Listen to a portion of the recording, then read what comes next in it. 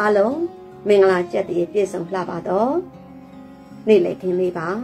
နော်ဆ iam မကတော့အီးမေးလ်ပေးတင်ထိုင်ရမထဗီဒီမေးကြတဲ့ page ကဆ iam မဒေါ်စုစုလိုင်းဖြစ်ပါတယ်နော်ဆ iam မအခုပြောမယ့်အကြောင်းအရာကတော့တပ္ပတိတ်တိနော်တပ္ပတိတ်တိမနန္တော်ကြီးဖြစ်ပေါ်လာဖို့နော်ဖြစ်ပေါ်လာဖို့ဇလန်းတော်လေးပါအဲ့တော့ အများကတော့သိထားကြပါတယ်ဖះရှင်ရဲ့အာထာနာမေတံဆိုတဲ့ဂါထာတော်ဟာဖះရှင်သွေးစိမ်ခြေမမှာသွေးစိမ်တည်ရတဲ့အခြေအနေမှာဖြစ်ပေါ်လာတဲ့ဂါထာတော်လို့အဲ့တော့ဘသူလောက်တာလဲဆိုတော့ဖះရှင်ကိုနော်ဖះရှင်ကိုအမြဲတမ်းနော်သူ့ထက်ပိုပြီးကြောသွားမှာဆိုလို့အညှိုးအတေးထားတတ်တဲ့နော်အညှိုးတေးထားတတ်တဲ့ဒေဝတက်ကဆောင်ရွက်လို့ဖះရှင်ခြေမမှာသွေးစိမ်တည်တယ် အဲ့ဒီအရာကိုအကြောင်းပြုပြီးတော့ဒီခါထာတော်ကြီးပေါ်ပေါက်လာရတယ်ဒီဖះရှင်ရဲ့နှုတ်ထွက်တော်ကြီးပေါ်ပေါက်လာရတာဖြစ်တယ်ပေါ့နော်ဒါပေမဲ့မိတ်ဆွေတို့လည်းဆ iam တို့လိုပဲဆ iam လိုပဲတွေးချင်တွေးမှာပေါ့နော်တကယ်တော့ပြောရင်ဒေဝဒတ်ဟာတကယ်နော်ဟိုဒီပြောရရင်ဒေဝဒတ်ဟာအစာတသက်မင်းကိုးခွေတဲ့မင်းဆရာဘာဖြစ်လို့ तू ကဖះရှင်ကိုသူကိုယ်တိုင်လောက်ကျင်ရတာလဲ သူ့မှာတပည့်တပန်းနေမရှိဘူးလားရှိတာပေါ့အများကြီးပဲပေါ့နော်အဲ့တော့ဘာဖြစ်လို့သူကိုယ်တိုင်လောက်ကြံရတာလဲပေါ့နော်ဟိုဆရာမလည်းတွေးဖို့ပါတယ်ဒါပေမဲ့နောက်အဲ့ဒီအတွေးလေးကိုဒီတိုင်းလေးထားရင်းနဲ့နောက်ဆရာမစာအုပ်ဖတ်တရားနာရင်းနဲ့မှဆရာမဟိုတွေးထားတဲ့အတွေးလေးကဟိုအဖြေလေးရတယ်ပေါ့နော်အဲ့တော့ဘာကြောင့်လဲဆိုတော့ तू ကဖះရှင်ကိုလောက်ကြံတာဒါဒီဒီကြောက်တုံးလှိမ့်ချပြီးတော့ဘုရားရှင်ကိုလောက်ကြံတာဒါပထမဦးဆုံးလောက်ကြံရင်မဟုတ် သူကဒုတိယအကြိမ်လောက်ကြံခြင်းဖြစ်တယ်အဲ့တော့သူကပထမအကြိမ်လောက်ကြံတော့မအောင်မြင်ခဲ့ဘူးဘုရားရှင်ကလေမအောင်မြင်ခဲ့ဘူးမအောင်မြင်တော့ဒါဒုတိယအကြိမ်လောက်ကြံတဲ့နေရာမှာငါကိုယ်တိုင်လုပ်မယ်ဆိုပြီးတော့ငါနော်ကြောင်မောင်းကြီးကိုတွန်းချပြီးတော့ဘုရားရှင်ကိုလောက်ကြံတာဖြစ်တယ်အဲ့တော့ဟုတ်ပြီအဲ့တော့ဆမကဘာကိုပြောပြချင်တာလဲဆိုတော့ဘုရားရှင်ရဲ့ဂုံတော်ကိုလည်းအာယုံပြုတ်နိုင်မို့ဘုရားရှင်ရဲ့ဘုရားရှင်ရဲ့ဆိုတဲ့နေရာမှာဆရာမတို့ ဒီသာသနာကြီးဖြစ်တဲ့ဂေါရမန်မြတ်စွာဘုရားရှင်နဲ့မကဘူးနော်ဘယ်ဖရားပဲဖြစ်ဖြစ်ငါသိန်း12000နှစ်ကျိတ်ရှစ်စုကုန်သောဖရားဂင်းငါဝါလူသဲစမကပွင့်တော်မူခဲ့ပြီးသောဖရားဖရားတွေအားလုံးရဲ့ဂုံကျေးဇူးဖရားတွေရဲ့အားလုံးရဲ့ဂုံအဲ့ဒါကိုအာယုံပြုတ်နိုင်ဖို့ဆရာမဒါလေးကိုပြောပြချင်တာပါနော်အဲ့တော့အထာဏမေတ္တန်ဂါထာတော်ကြီးဖြစ်တဲ့တပ္ပတိတ်တိဂါထာတော်ကြီးကိုပူဇော်ရင်လည်းပဲဖះရှင်ရဲ့တတ်တော်မြဲ ဂုံတော်တွေကိုအာယုံညှပ်ပြီးပူဇော်ကြရမှာဖြစ်တယ်အဲ့တော့ဇလန်းလေးကဒီလိုစတယ်အဲ့ဒီအချိန်ကဘယ်အချိန်လဲဆိုတော့ဂေါရမမြတ်စွာဘုရားရှင်ကိုရမြတ်ကြီးတက်တော်ထင်ရှားသာသနာတော်အချိန်ပဲဖြစ်တယ်နော်တက်တော်ထင်ရှားမြတ်စွာဘုရားရှင်ကိုရမြတ်ကြီးတက်တော်ထင်ရှားသာသနာတော်အချိန်အချိန်အဖြစ်ကြည့်မယ်ဆိုရင်တဲ့မြတ်စွာဘုရားရှင်ဂေါရမမြတ်စွာဘုရားရှင်ကိုရမြတ်ကြီးဟာတက်တော် 82နှစ်လောက်ပတ်ဝန်းကျင်မှာရှိနေတဲ့ချိန်ဖြစ်တယ်အဲ့ဒီမှာဖြစ်တယ်ဖြစ်ပြပေါ့နော်အဲ့တော့ဖះရှင်အားတဲ့အဲ့ဒီချိန်မှာရာဇကြိုမြို့မှာရှိတဲ့ Giscope တောင်ကကျောင်းတော်မှာသူကနော်ဟိုသတင်းသုံးနေတယ်ဖះရှင်သတင်းသုံးနေတဲ့ချိန်ဖြစ်ပါတယ်တဲ့အဲ့တော့အဲ့ဒီချိန်မှာအဇာတတကဘယင်ဖြစ်ပြီးနန်းတက်တဲ့ချိန်အဇာတတမင်းကြီးဟာ နော်အာဆရာမတို့မိတ်ဆွေတို့ဟိုသိထားတဲ့ဇာလန်းတိုင်းပေါ့နော်အဖေကိုတတ်ပြီးတော့မင်းလုပ်တယ်ပေါ့အဲဇာတတက်မင်းကြီးဟာနော်ဟိုသူနန်းတက်တဲ့အချိန်မှာအဲ့တော့ဇာတတက်ကနန်းတက်တဲ့အခါကျတော့သူ့ရဲ့ဆရာဖြစ်တဲ့ဒေဝရက်ကလည်းပဲမင်းဆရာဖြစ်လာတာပေါ့အဲ့တော့အစကတည်းကဒေဝရက်ကဖះရှင်ပေါ်မှာသူကပြိုင်ဆိုင်လို့စိတ်ရှိတယ်ဖះရှင်မရှိမှနော်အေးမယ်အဲဒီလိုအတွေးပေါ့နော်ဖះကိုသူကဟိုဒီ မလုံမုန်းထားတဲ့စိတ်ရှိတာ哦အဲ့တော့ဒါဘုရားရှင်ကိုတတ်ဖို့သူကြံစီတော့မယ်ပေါ့ဒါပေမဲ့သူဘယ်လိုလုပ်မလဲဆိုတော့သူ့ရဲ့နော်တပည့်ဖြစ်တဲ့အဇာတတမင်းကြီးက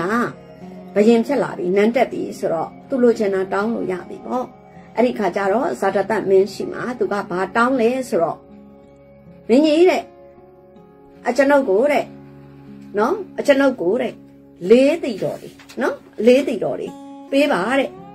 လေးတီတော်ဘယ်လောက်ပေးရမလဲဆိုတော့လေးတီတော်31ယောက်ပေးပါတယ်လက်ဖြောက်လေးတီတော်နော်လက်ဖြောက်လေးတီတော်31ယောက်ပေးပါတဲ့တောင်းတာတောင်းတော့ဟိုကလည်းဟိုရှင်ဘရင်ပဲနော်မင်းဆရာတောင်းတယ်ဆိုတော့ပေးတာပေါ့31ယောက်အဲ့ဒီ31ယောက်ကို तू ကဗပြိုင်နဲ့ထမ်းမခေါ်တယောက်တယောက်စဉ်တည်တဲ့တယောက်ကိုတနေရာမှာတွေ့တယ်နှစ်ယောက်ကိုတနေရာမှာတွေ့တယ်လေးယောက်ကိုတနေရာမှာတွေ့တယ်ရှစ်ယောက်ကိုတနေရာမှာတွေ့တယ် 16ယောက်ကိုတနေရာမှာတွေ့တယ်သူတို့အချင်းချင်းကိုလည်းမတွေ့ပေဘူးအဲအဲ့ဒီလိုပုံစံလေးနဲ့သူကအစီအစဉ်ချတယ်ဘလို့အစီအစဉ်ချလဲဆိုတော့အဲ့ဒီအချိန်မှာမြတ်စွာဘုရားရှင်ကိုရမြတ်ကြီးဟာသူရာဇကြုံမြို့ရဲ့ gift scope တောင်မှာသတင်းသုံးနေတယ်ဆိုတာသိတော့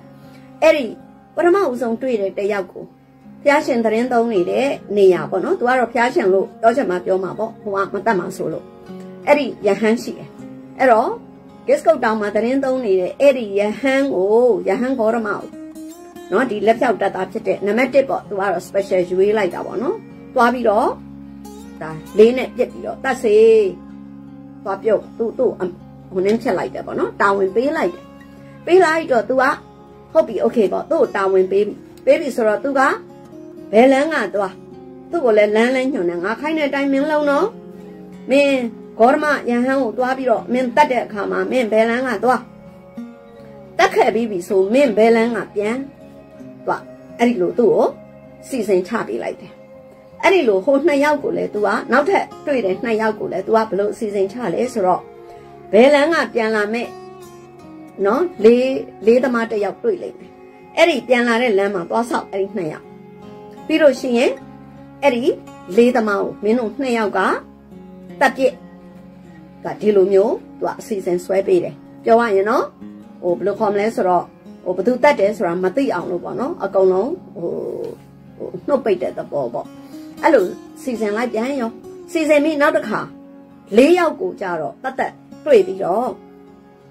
နှစ်ယောက်ဘယ်လန်းမှာအဲ့ဒီနှစ်ယောက်ကိုလည်းဘယ်လန်းကသွားဘယ်လန်းကပြန်သွားအစီအစဉ်ဆွဲပေးလိုက်တယ်အဲ့တော့ဆွဲပေးလိုက်တဲ့အတိုင်းနောက်၄ယောက်ကိုလည်းဘယ်လန်းကတော့ပြန်လာမဲ့၄သမားနှစ်ယောက်တွေ့လိမ့်မယ် အဲ့ဒီ၄သမားနှစ်ယောက်ကိုမင်းတို့၄ယောက်ကတပ်ပြည့်အဲ့လိုပြောပြီးတာဝန်ပေးတယ်ဒါပေမဲ့အဲ့ဒီ၄ယောက်ကိုလည်းပဲမင်းတို့ဘယ်လန်းကပြန်သွားသေချာစီစဉ်လိုက်တယ်အဲ့တော့ပြန်လာတဲ့လမ်းအတိုင်းကိုနောက်ထပ်၈ယောက်ကိုထပ်ပြီးတော့အဲ့ဒီ၄ယောက်ကိုတတ်ခိုင်းတယ်နော်တခါအဲ့ဒီ၈ယောက်ကိုဘယ်လန်းပြန်ပြောထားပြီးတော့အလုံးအဲ့ဒီ၈ယောက်ကိုတတ်ဖို့အတွက်နောက်16ယောက်လွတ်ပေးတယ်အဲ့တော့တွက်ကြည့်လိုက်တော့အလုံး31ယောက်သူကအစီအစဉ်အကုန်ချလိုက်တယ် ချလိုက်တော့အဲ့ဒီလိုအစီအစဉ်တိုင်းသူစတာပေါ့နော်စတော့ပထမဦးဆုံးတစ်ယောက်ကမြတ်စွာဘုရားရှင်ကိုရမြတ်ကြီးရှိကိုနော်ဒီလက်ဆောင်သမားသွားပြီးတော့ဘုရားရှင်ကိုလောက်ကြံမှုသွားတယ်သွားတော့ဘုရားရှင်ကိုလှမ်းပြီးတော့သူအဝေးကသူတက်မှာပေါ့လှမ်းပြီးကြည့်ရကြည့်ရကြည့်ရောဘုရားရှင်ရဲ့ဂုံဘုရားရှင်ရဲ့မေတ္တာဘုရားရှင်ရဲ့အရှိန်အဝါတွေကြောင့်ဘုရားရှင်ကိုမြင်လိုက်တဲ့အချိန်မှာသူကြောက်လာတယ်တဲ့ ကြောက်ပြီးတုံတုံကြီးကြီးဖြစ်လာတယ်တဖြည်းဖြည်းသူအနည်းကိုချင်းကပ်လာတယ်သူကြောက်တဲ့စိတ်ကြောင့်သူမလောက်ဖြစ်ဘူးပေါ့နော်အဝေးကပြင်ရင်လည်းရရင်ရမယ်ထင်ပါတယ်အနည်းကိုရောက်လာတယ်ရောက်လာတော့ဘုရားရှင်ကတွေ့တွေ့တော့လှမ်းခေါ်တယ်လာခဲ့တဲ့အနာကိုတဲ့ဆိုတော့လှမ်းခေါ်တော့အဲ့ဒီလေးသမားဘုရားရှင်နာကိုသွားလိုက်တယ်သွားတော့ဘုရားရှင်ကဘာလာလောက်တာလဲမေတော့အဲ့လိုအဲ့လိုပဲတဲ့ဒါပေမဲ့ဘုရားရှင်ကိုတွေ့တဲ့အခါမှာအရှင်ဘုရားယဟန်တော်ကိုတွေ့တဲ့အခါမှာ အဲတပြည့်တော့ဟောကြောက်စိတ်တွေဝင်နေပေါ့နော်ဆိုတဲ့အခါကျတော့ဘုရားရှင်ကအေးဟုတ်ပါပြီတဲ့ဆိုပြီးတော့အဲ့ဒါဘုရားရှင်ကအကျိုးအကြောင်းစီလျော်စွာနဲ့တရားတွေဟောပြလိုက်တဲ့အခါမှာအဲ့ဒီနံပါတ်1လေးသမားဟာသောတာပန်ဖြစ်ပြီးတော့တရားထုတရားမြတ်ရသွားတယ်အဲ့ဒီခါကျတော့ဘုရားရှင်ကသိနေတာ哦သိနေတဲ့ခါကျတော့ကဲဒကာကြီးဒကာကြီးအခုဘယ်လန်းပြန်มาလဲဘယ်လန်းဘယ်လန်းပြန်မယ်ပေါ့ဟိုကညွှန်ကြားထားတဲ့လမ်းမဟုတ်အဲ့လမ်းမပြန်နဲ့ အဲ့လမ်းပြန်ရင်ဒကာကြီးတွေ့အနည်းရရှိတယ်ဒါကြောင့်ဘယ်လန်းပြန်လွှဲပြီးတော့လမ်းလွှဲပြီးပြန်ခိုင်းလိုက်ပြန်ခိုင်းလိုက်တော့အဲ့ဒီနံပါတ်1နော်လေးသမားလမ်းလွှဲပြီးပြန်သွားတော့ဟိုဒုတိယနှစ်ယောက်စောင့်နေတဲ့နံပါတ်1တဲ့ကိုတတ်မဲ့လေးသမားနှစ်ယောက်ကစောင့်နေဒီလမ်းလာမှာလာနိုးလာနိုးနဲ့စောင့်နေတာမလာဘူးမလာတဲ့ခါကျတော့မဖြစ်ချေဘူးဟေ့ငါတို့ကတော့ငါတို့တောင်းဝင်မကျေဘူးဖြစ်မယ်လိုက်မှအေးဟုတ်ပြီလိုက်မှဟာဆိုအဲ့ဒီလမ်းတိုင်းကို လိုက်သွားတော့နောက်ဆုံးပိတ်ပေါ့ဟိုဆ iam မတို့ရဲ့ဖះရှင်ရှင်တော်ဂေါရမရှိရောက်သွားရောရောက်သွားတော့ကဲဒကာကြီးတို့လာဘာလာလောက်တာတော့ဒလိုဒလိုပဲလူတယောက်လာရှာပါတယ်အဲ့ဒီလူတယောက်တပြည့်တော်တို့ဟိုဟိုအပေါ်ကလူကြီးတွေတာဝန်ပေးချက်ရလာရှာရတာပါအေးအေးဆိုပြီးတော့ဘုရားရှင်ကလည်းအဲ့လိုပေါ့တင့်မြတ်တဲ့တရားတွေကိုသူတို့ဟောလိုက်တော့အဲ့ဒီနှစ်ယောက်ကလည်းပဲတရားပေါ်မှာကောင်းစွာနားလည်သွားပြီးသောတာပတ္တိမဉ္ဇဉ်ဖွဉ္ဇဉ်ဆက်ရောက်သွားတယ် အဲ့တော့သောတာပတ္တိမဉ္ဇဉ်ဖွဉ္ဇဉ်ဆက်ရောက်သွားတယ်ဆိုတော့သောတာပန်ဖြစ်မှာတော့သူတို့ဘာအသက်ကိုတတ်လို့တဲ့စိတ်ပဲရှိတော့မလဲအဲ့ဒီတော့သူတို့ဒီအေးရယူချောင်းပြန်တော့မယ်ပေါ့နော်ဆိုတော့ပြန်မယ်ဆိုတဲ့အခါကျတော့ဘုရားရှင်ကဘယ်လန်းကပြန်မှာလဲဒီလန်းက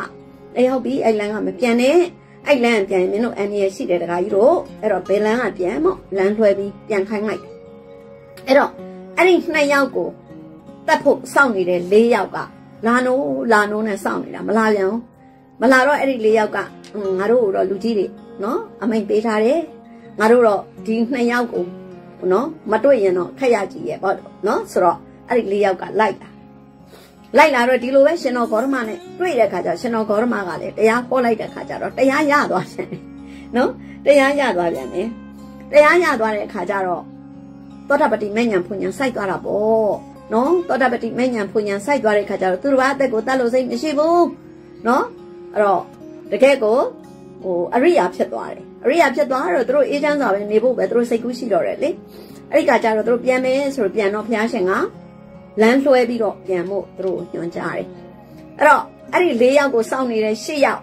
ဒီလိုပဲအဲ့ဒီ၈ယောက်ကလည်းဒီ၄ယောက်လာတာမတွေ့ဘူးငါတော့လိုက်လိုက်ကြည့်မှာပဲအေးလာကွာလိုက်ကြည့်ကြမယ်ပေါ့၈ယောက်လုံးကလိုက်ကြည့်တော့နောက်ဆုံးမိတ်ရှင်တော်ဂေါရမစီရောက်သွားပြန်တယ် ရှင်တော်ဂေါရမကတရားဟောလိုက်တော့ကျွတ်တန်းဝင်ပြီးတော့အဲ့ဒီ၈ယောက်လည်းသောတာပတ္တိမညံဖူညံဆက်ရောက်သွားပြန်ဟောအဲ့ဒီ၈ယောက်ကိုစောင့်နေတဲ့16ယောက်ကလည်းထုံနီးတူစွာပဲလိုက်လာရင်လိုက်လာရင်လိုက်လာရင်နဲ့ပဲရှာရင်ရှာရင်နဲ့ရှင်တော်ဂေါရမရှိရောက်ပြီးတရားနာခွင့်ရလို့သောတပတိမညာဖွညာရသွားတယ်ဆိုတော့ဒီပြောရရင်ဒီဝရက်ကလုံးဝအကြံစီမအောင်ဘူးဖះရှင်ကိုလောက်ကြံဖို့အတွက်စီစဉ်တယ်ဒါပေမဲ့ဖះရှင်ကိုရောက်သွားတဲ့သူမှန်တယ်များသည် ဖះရှင်ရဲ့မေတ္တာဓာတ်ကြောင့်ဖះရှင်ကိုအသက်ဘေးကိုဆောင်ရွက်ဖို့စိတ်ကူးတွေပျောက်ကုန်တယ်ဒီအပြင်မှာဖះရှင်ဟောတဲ့တရားတွေကိုနာကြားခွင့်ရပြီးတဲ့နောက်နော်စိတ်တင်နူးညံ့တိမ်မွေ့သွားပြီးတော့နော်သောတာပတိမဉ္ဇဉ်ဖူဉ္ဇဉ်ရရှိတဲ့အရိယာသူတော်စင်ဖြစ်နေပြောင်းလဲသွားကြတယ်အဲ့တော့ဒါတွေကိုသိတဲ့အခါကျတော့ဒေဝရတ်ကစိတ်ဆိုးတာပေါ့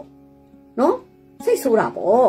ဒါလောက်အစီအစဉ်တွေသေချာချာချပြီးတော့လောက်တာတော့မအောင်မြင်ဘူးအေးဟုတ်ပြီ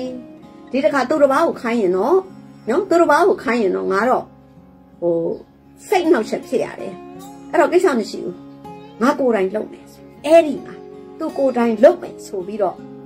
ဖះရှင်ကိုကြောက်မောင်းနဲ့နော်ကြောက်မောင်းဆင်ပြီးတော့တခါတည်းကြောက်တုံးကြီးပေါ့ကြောက်မောင်းဆိုတာကြောက်တုံးအကြီးကြီးပေါ့ကြောက်တုံးကြီးကိုတွန်းချတဲ့အခြေအနေအထိဆောင်ရွက်တာအဲ့တော့အဲ့ဒီဒေဝရက်ကြောက်တုံးတွန်းချတဲ့အချိန်မှာဖះရှင်ကလည်းဖြစ်ချင်တော့အဲ့ဒီမှာသတင်းသုံးနေတဲ့ ဈဉ္ဉံလျှောက်ဈဉ္ဉံလျှောက်ဈဉ္ဉံလျှောက်နေတဲ့အချိန်မှာဒေဝရက်ကဟိုကြောက်တောင်ကြီးပေါ်တက်ပြီးတော့တခါတည်းကြောက်တုံးအကြီးကြီးကိုလှိမ့်ချလိုက်တာလှိမ့်ချလိုက်တော့ဘုရားရှင်ရဲ့ဖုံးတော်နော်ကန်တော်တကိုးတော်တွေကြောင့်ဟောပေါ့နော်အဆောင်လျှောက်တွေရဲ့နော်ဆောက်ရှောက်မှုတွေကြောင့်ရောအဲ့ဒီကြောက်တုံးကြီးဟာကြောက်နိုင်ရင်နှစ်ခုကြားထဲမှာနော်ကြောက်နိုင်ရင်နှစ်ခုကြားကိုသွားရိုက်ခတ်ပြီးတော့ နော်တချို့စာတွေမှာလည်းဒီကြောက်ကြီးတွေကတားပိထားတယ်လို့လည်းတွေ့ရတယ်ပေါ့နော်အဲတဘာဝအရပြောရရင်တော့မကြောက်ဘူးပေါ့အောက်ကိုမကြောက်ဘူးပေါ့ဒါပေမဲ့ဘာဖြစ်လဲဆိုတော့အဲ့ဒီကြောက်တုံးကြီးလှိမ့်ချပြီးတော့ကြောက်နိုင်ငံကြီးကိုသွားရိုက်လိုက်တဲ့အတန်ဟာတခါတည်းမြေကြီးတုံပြီးသွားတယ်ဘုံဆိုတဲ့အတန်ကြီးဟာခါတည်းကိုတုံပြီးသွားတယ်အဲ့ဒီနောက်ထိပြင်းထန်တာအဲ့ဒီကြောက်တုံးကြီးပြုတ်ကျလိုက်တဲ့အချိန်ကြောင့်ကြောက်တုံးကြီးကကြောက်နိုင်ငံကြီးနှစ်ခုကြားမှာ နော်ညက်ပြီးတော့ရက်သွားပြီမဲ့ပြုတ်ကျလာတဲ့အချိန်နဲ့အဲ့ဒီကြောက်နိုင်ငံကကြောက်သားပေါ့ကြောက်သားအပြားလိုက်ကြီးကိုတခါတည်းကွာကြစေပြီးတော့အဲ့ဒီကြောက်ပြားကြီးကအောက်ဘုရားရှင်စင်းညံလျှောက်တဲ့အထိနော်ပြုတ်ကျလာပြီးတော့ဘုရားရှင်ရဲ့ခြေမတော်နော်လွင့်စင်ပြီးတော့အဲ့ဒီကြောက်တုံးတွေလွင့်စင်ပြီးဘုရားရှင်ရဲ့ခြေမတော်မှာသွေးသွေးချေပူတယ်ပေါ့နော်အဲ့တော့ဘုရားရှင်ရဲ့ခြေမတော်မှာသွေးချေပူသွားတယ် အဲ့လိုဖြစ်တဲ့ချိန်မှာဘုရားရှင်ကအပေါ်မော့ကြည့်လိုက်တော့ဒေဝရတ်မှန်ဘုရားရှင်ကသိသိတော့ဘုရားရှင်ကဒေဝရတ်ကိုဆုလာပေါ့နော်မင်းဟာနော်တကက်ကိုနော်မင်းသူတော်ကောင်းကိုပြတ်မှားတဲ့အလုပ်မင်းလုပ်ပြီမင်းဟာနော်အဝိဇိ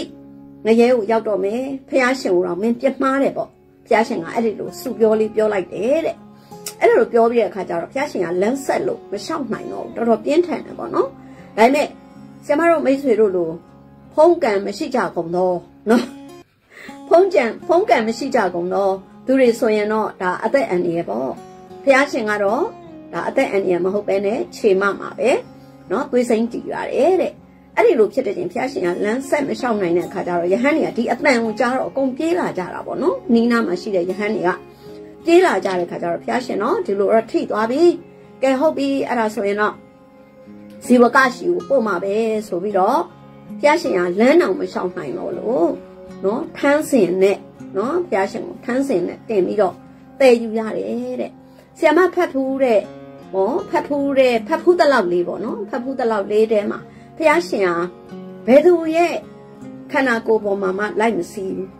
ဘယ်တရိษံကိုမှတက်မစီဘူး အဲ့တော့ကဆက်တက်ရင်နေမရှိလို့ဆက်တက်ရင်မစီတာကတော့ဒါထားလိုက်တော့ပေါ့နော်တရိษံနေပေါ်မှာလည်းမစီဘူးရင်နေပေါ်မှာလည်းမစီဘူးဘယ်လိုပေါ်မှာမှမစီဘူးဘုရားရှင်ကတဏှာတဏှာကိုမိမိရဲ့ခြေထောက်ကိုသာအသုံးပြုပြီးတော့ခြေချင်းကြွတာနော်ဒီတဘာဝရှိတယ်အခုတော့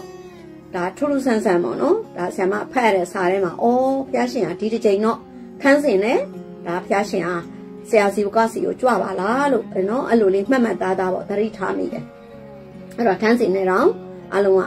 ဘုရားရှင်ကိုပင့်သွားတယ်တဲ့အဲ့တော့ဆရာစီကရှိတဲ့ဥယျာဉ်တော်ကိုသွားပြီးတော့အဲဟိုနည်းမော့ဒါကိုစိတ်ကုခံရတယ်ပေါ့နော်အဲ့တော့အလုံးကဘယ်လိုဖြစ်ကြလဲဆိုတော့ယဟန်နေရအကုန်လုံးမော့ဟိုစိတ်ပူသွားကြတယ်ပေါ့ဖျားကလည်းသိလိုက်တယ်လေဒီဟိုဟာဒေဝရက်ကလုတ်တယ်ဆိုတာအဲ့တော့လူတွေကအားလုံးကဟဲ့ဒေဝရက်ကဘုရားရှင်ကိုတတ်ဖို့ကြံစီနေပြီအေးဟုတ်တယ်ဟေးဒေဝရက်ကတတ်ဖို့လုပ်နေပြီ ငါတို့ဘုရားရှင်ကိုရဲ့အသက်အန္တရာယ်ကိုငါတို့ကာကွယ်မှဖြစ်တော့မယ်ဆိုပြီးတော့အဲ့ဒီယဟန်နဲ့တန်ဃာတွေဆိုတဲ့ပုံကိုယ်တွေအကုန်လုံးနီးစပ်ရနီးစပ်ရလာကြပြီးတော့စာတင်သားတန်ဃာတွေကလည်းသူတို့စာကြက်မှတ်ဆရာရှိတာကိုအဲ့ဒီဇီဝကဥယျာဉ်တော်ရဲ့အနီးမှာပဲကြက်မှတ်ကြတယ်ပြီးတော့တချို့တွေကလည်းပေါ့နော်ဟိုဘယ်လိုခေါ်မလဲဈဉ္ဉံလျှောက်ပြီးတော့ကင်းဆောင်ကြတာပေါ့ဘုရားရှင်ကိုလေလုံခြုံရေးပေါ့အဲ့လိုတွေလောက်ကြတာလောက်တော့ဘုရားရှင်ကတိတ်ဆိတ်ငြိမ်သက်စွာသူ့ဘုရားရှင်ရဲ့ ဘုရားရှင်ရဲ့သတင်းသုံးသောနေရာမှာဘုရားရှင်ကအမြဲတမ်းတိတ်ဆိတ်ငြိမ်သက်ခြင်းကိုသာကြိုက်တယ်ဒါကြောင့်ဘုရားရှင်သတင်းသုံးတဲ့နာမှာအမြဲတမ်းတိတ်ဆိတ်ငြိမ်သက်နေတယ်ဒါဟာဘုရားရှင်ရှိတဲ့နေရာတိုင်းရဲ့တဘာဝဒါပေမဲ့အခုတော့ဘုရားရှင်ကကြားနေရတယ်အတန်နေစာအန်တန်နေကြားရတယ်စကားပြောတန်နေကြားရတယ်ပေါ့နော်ကြားတော့အနိကပြုစုတဲ့သူကတော့ထုံးစံအတိုင်းနော်အရှင်အာနန္ဒာပေါ့ အဲ့တော့ဘုရားရှင်ကနော်ရှင်အာနန္ဒာကိုမေးတယ်အာနန္ဒာငါဘုရားအတန်နေကြားရတယ်ဘာတွေဖြစ်နေကြတာလဲမေးတော့ညီတော်အာနန္ဒာကဘာပြောလဲဆိုတော့ရှင်ဘုရားတဲ့အခုဒေဝရက်ကအရှင်ဘုရားကိုအသက်ဘေးအသက်ဘေးထိထိအောင်လောက်ကြံနေတယ်လို့အားလုံးကစိတ်ပူကြပါတယ်ဒေဝရက်လောက်တယ်ဆိုတာလည်းသိတယ်ဒါကြောင့်မလို့ဒီဒေဝရက်ဟာအရှင်ဘုရားကိုအချိန်မရွေး အသက်အန္တရာယ်ပေးနိုင်တယ်ဆိုပြီးတော့ယဟန်နေအားလုံးကစိတ်ပူကြလို့နော်အရှင်ဘုရားရဲ့လုံခြုံရေးအတွက်စာတင်သားတွေကလည်းဒီဟိုပဲလာပြီးတော့စာအံ့ရင်နဲ့ဆောက်ရှောက်ကြပါတယ်ဘုရားအခြားသောယဟန်တွေကလည်းပဲနော်လုံခြုံအောင်ဆိုပြီးတော့သေချာချာတူးချင်းတပားချင်းကိုအသေးချာစစ်စစ်ဆက်ဆက်စောက်ရှောက်နေကြတာပါဗျာတဲ့အဲ့လိုပြောတော့ဘုရားရှင်ကအိုးအနန္နာတဲ့အဲ့ဒီ ငါ့ကိုစိတ်ပူနေတယ်ဆိုတော့ယဟန်တွေကိုခေါ်လိုက်တဲ့ငါတို့နဲ့သူတို့ကိုပြောစရာရှိတယ်တဲ့အဲ့လိုပြောတော့အနန္နာကယဟန်တွေကိုခေါ်တယ်ယဟန်တို့ဘုရားရှင်က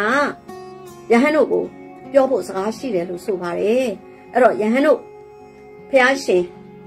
ပြောတဲ့နော်ဖះရှင်ပြောမဲ့စကားကိုနားထောင်နိုင်မှုနော်တင့်မြတ်တဲ့နေရာကိုလာကြပြီးကြွရောက်ပြီး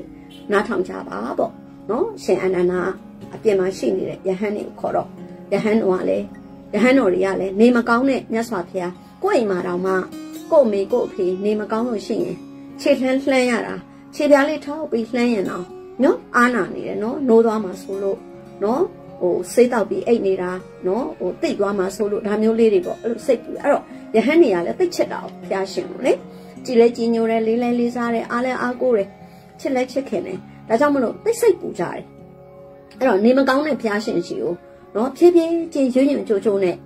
အဲ့ဒီယဟန်နေရောက်လာကြတယ်တဲ့မျက်လုံးထဲမှာမြင်ကြည့်ဆရာမတော့အဲ့လိုစာလေးဖတ်ရင်လေမျက်လုံးထဲမှာမြင်ကြည့်ပြီးတော့ကြည်ညိုစိတ်ဖြစ်တယ်အဲ့တော့ကြည်ညိုစိတ်ဖြစ်တဲ့အချိန်မှာဘာဖြစ်လဲဆိုတော့တန်ခံတရဏံခစ္ဆာမိပေါ့တန်ကတော့အရှင်မြတ်တွေကိုကြည်ညိုတဲ့စိတ်ကလေးဖြစ်ရတာပေါ့နော်မိမိကြည်ညိုတဲ့မိမိလေးစားတဲ့မိမိတန်ဖိုးထားသောမြတ်ဖျားရှင်ကို ကြည်ညိုကြကြောလေးစားကြသောတန်ဖိုးထားကြသောတန်ကတော့အရှင်မြတ်တွေကိုမိမိကလည်းပဲကြည်ညိုခြင်းနော်တန်ဖိုးထားခြင်းလေးစားခြင်းဆိုတဲ့စိတ်တွေဖြစ်ရတာ哦အဲ့ဒါနဲ့ဖျားရှင်ထံကိုယဟန်နေရောက်တဲ့အချိန်ကျတော့ဖျားရှင်ကနောက်ထပ်ထပ်မေးတယ်ယဟန်တို့တဲ့ဘာဖြစ်လို့ကိုကြောင်ကိုမနေကြပဲနဲ့ဒီကိုလာကြတာလေတဲ့မေးတဲ့အခါကျတော့နော်ဒီယဟန်နေတဲ့ကဥဆောင်ပြီးလျှောက်ထားနိုင်တဲ့သူကလျှောက်ထားတာပေါ့ ရှင်မြတ်ဖျားတဲ့ဒေဝရတ်ဟာအရှင်မြတ်ရဲ့အသက်ကိုရန်ရှာနေပြီလို့သိကြတဲ့အတွက်အရှင်မြတ်ရဲ့တပည့်သားတန်ကယဟန်နေဟာအရှင်မြတ်အတွက်အလွန်အမင်းစိတ်ပူကြရပါတယ်တဲ့ဒါကြောင့်မလို့တဲ့ဒေဝရတ်ရဲ့ယံကနေအကာအကွယ်ဖြစ်စေဖို့အရှင်မြတ်ဒီမှာစေဝါကုနေတဲ့အချိန်ကာလမှာအနေရမရှိအောင်တပည့်တော်တို့တွေလုံခြုံရေးအတွက်ပြောရရင်တော့အဲ့ဒီအချိန်ဘယ်စကားပြောလဲမသိဘူးပေါ့နော် အဲ့တော့လုံခြုံရေးအတွက်တပည့်တော်တို့စောင့်ကြံ့နေကြခြင်းဖြစ်ပါတယ်တဲ့အဲ့တော့တပည့်တော်တို့ကအရှင်ဖျားကိုအသက်အန္တရာယ်ရောဟိုအထိတ်ကမခံနိုင်ပါဘူးဖျားတဲ့အဲ့ဒီလိုလျှောက်တဲ့အခါကျတော့ဖျားရှင်ကအေးချက်သားတို့တဲ့ငါဖျားပြောမယ်တေချာနားထောင်ကြတဲ့ဆိုပြီးတော့မှဖျားရှင်ကအထာဏမေတံဆိုရဲနော်ဒီချိန်ကတော့ပါဠိလိုပြောတာပေါ့နော်အထာဏမေတံဆရာမတို့ကတော့ဂါထာတော်မန္နန်တော်လို့ဆိုပါတယ်အထာဏမေတံကို ဆိုပါတယ်အထာဏမေတံအနဝကတော်ယံပရုပက္ခမေနရထကတဇိဝိတာဝရောပေယအနုပက္ခမေနဘိက္ခဝေတထကတပရိနိဗ္ဗာန်ယံတိလို့ဖះရှင်ကအဲ့ဒီစကားရက်ကလေးကိုဆိုလိုက်ပါတယ်တဲ့အဲ့ဒါဘာလဲဆိုတော့ချက်သားတို့တဲ့ဘာမှစိတ်မပူနဲ့တဲ့အထာဏမေတံမဖြစ်နိုင်ဘူးတဲ့အထာဏအထာဏဆိုတာဟာလုံးဝမဖြစ်နိုင်ဘူးဘလို့မှမဖြစ်နိုင်ဘူးတဲ့နော် ဘာမဖြစ်နိုင်တာလဲဆိုတော့ဖះရှင်တို့ရဲ့အသက်ဆိုတာသူ့တပားတွေကကြံစီပြီးသေရတယ်ဆိုတာဘယ်တော့မှမဖြစ်နိုင်ဘူးတဲ့နော်အဲ့တော့ငါဖះလို့ပြောတာမဟုတ်ဘူးနော်ပြောတာကတော့ဂေါရမမြတ်စွာဘုရားရှင်ကြီးကပြောတာပဲဒါပေမဲ့ဖះရှင်တို့ဤအသက်တည်တဲ့သူတစ်ပါးတို့ဤကြံစီခြင်းကြောင့်ဘယ်တော့မှနော်ထိခိုက်ခြင်း မဖြစ်နိုင်ဘူးတဲ့ဖះရှင်တွေကိုအခြားသူတွေကအသက်အန္တရာယ်ပေးလို့လည်းမရဘူးတဲ့အသက်အန္တရာယ်ထိခိုက်ခြင်းလည်းအခြားသူကြောင့်မဖြစ်နိုင်ဘူးဖះရှင်တို့ညီတီမှာမိမိရဲ့ကံမိမိရဲ့တက်တန်းအတိုင်းသာနေကြတယ်တဲ့မိမိရဲ့တက်တန်းအတိုင်းသာနော်နိဗ္ဗာန်ကိုမျက်မှောက်ပြုတ်သွားကြတာဖြစ်တယ်တဲ့အဲ့တော့တခါတခြားသူတွေစီမံလို့တခြားသူတွေကြံစီလို့ဖះရှင်တို့မြည်သည်မှာ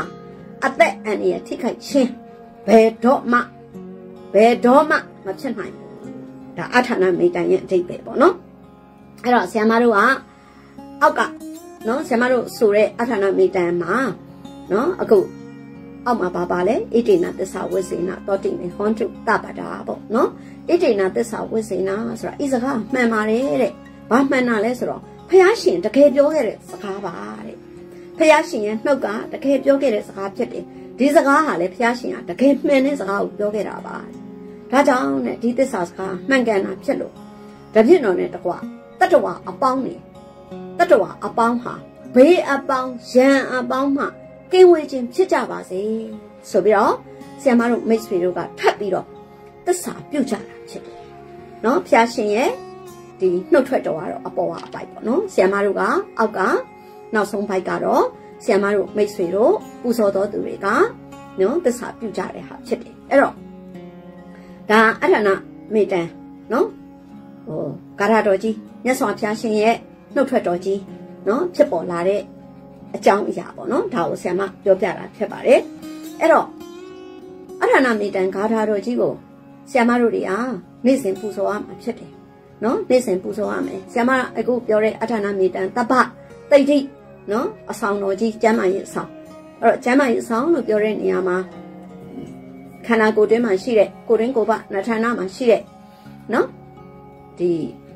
ဓာတ်ကြီးလေးပါဖောက်ပြန်မှုကြောင့်ဖြစ်တဲ့နော်ကျမ်းမာရေးလိုအပ်ချက်တာမကရုပ်တရက်ဖြစ်ပေါ်တတ်တဲ့ထိခိုက်မှုတွေကိုပါအကာအကွယ်ဖြစ်စေတဲ့နော်ဂါထာတော်ကြီးဖြစ်ပါတယ်။ဒါအဲ့ဒီဂါထာတော်ကြီးကိုပူဇော်တဲ့အချိန်မှာ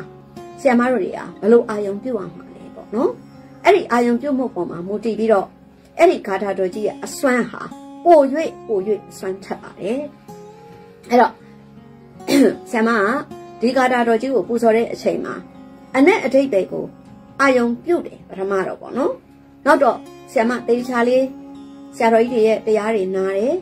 နော်အဲ့လိုနာပြီးတော့လေ့လာလိုက်တဲ့အခါကျတော့ဩဟုတ်ပါလားအထာဏမိတန်ဂါထာတော်ကြီးကိုပူဇော်တဲ့အချိန်မှာ